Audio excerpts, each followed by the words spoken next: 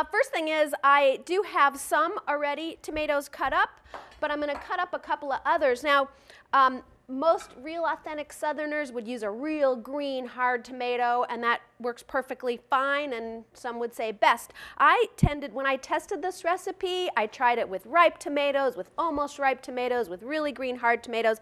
My favorites were the ones that were just a little bit starting to soften. So they weren't hard as rocks, but they were, uh, weren't totally ripe. If you use a totally ripe tomato that just kind of cooks into mush, so it doesn't really work. So I'm cutting the tomatoes in uh, about a third of an inch to a half of an inch slabs. I'm going to coat them in a, a, couple of things. One is a little bit of buttermilk, about three quarters of a cup of buttermilk. And then my dry ingredients are uh, some flour, some cheese, some grated Parmesan cheese, some cornmeal,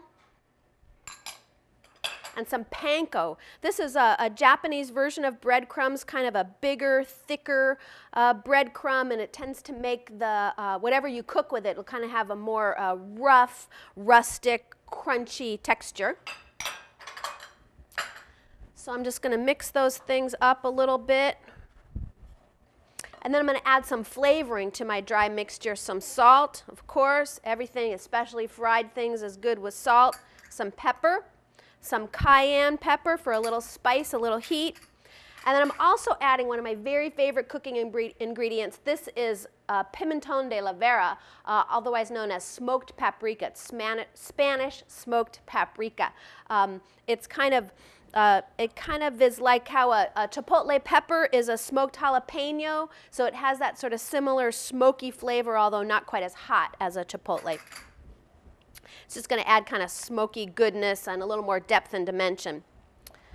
So I'm going to mix this all up and then uh, turn it into a shallow bowl here for dipping my tomatoes in. The thing with any kind of frying is that if you cook too hot, your foods will burn before they cook. If you cook too cool, your foods will absorb uh, a lot of oil while they cook. So kind of just about right, 350, 375 generally is about the, a good temperature for frying. All right, so one at a time, using one hand for wet and one hand for dry. It'll help from, keep it all from turning into a big mess. I'm going to dip the tomato slices in a little buttermilk and then dip them in the dry ingredients. Make sure they get a nice coat. And set it aside. So checking on my oil here, and it looks like it's starting to get hot.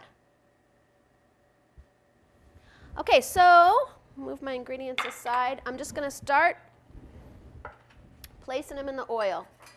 Kind of carefully and gently, and it won't take long. Uh, they only need about a minute aside. Depending on how deep the oil is, whee,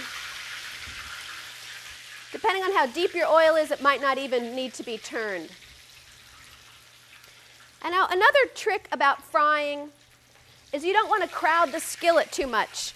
Uh, the more food, obviously my food here is room temperature, and the more food I put in, the quicker the temperature and the oil is going to go down. So uh, you want to kind of don't crowd it. Don't shock the oil into getting too cool too fast because then you'll just get that uh, situation I mentioned earlier, which is that you'll, your food will absorb the oil rather than get a nice crisp coat on the outside and just cook in the oil. Now, while those are cooking, we'll see if I can multitask here. I'm going to make a kind of a, a couple little uh, accessories for the dish, or an accessory for the dish. In the recipe in the Heirloom Tomato Cookbook, the recipe includes a cherry tomato relish and an arugula pesto. Um, rather than make the pesto, I'm just going to serve the fried green tomatoes on a bed of arugula. I think a bed of arugula is just about the perfect thing for almost anything. So back to my cherry tomato relish. I'm just going to make kind of a quick little vinaigrette for it some olive oil, some balsamic vinegar, some salt, some pepper, and some garlic. Whisk that up together. And then I have about a pint of both uh, red and orange cherry tomatoes. So these tomatoes are totally ripe. Gonna add those. They're just gonna be kind of a juicy, bright little topping for the fried green tomatoes. So now I'm ready to plate up my fried green tomatoes. And uh, these fried, these green tomatoes will be perfectly fine dish, just like they are. But this is just going to kind of send it over the top. And that's, um, you know, really one of my, uh, uh, uh, uh, my favorite way of cooking is recipes that are simple, not complicated, easy to make, but have nice little special twists. And, you know, there's nothing easier than just laying some arugula on the bottom of a plate, but that's definitely a nice little special twist. And make the whole thing just kind of more of a dish. Okay. And then just a little of this cherry tomato relish. And there you have it. Fried green tomatoes with arugula and cherry tomato relish.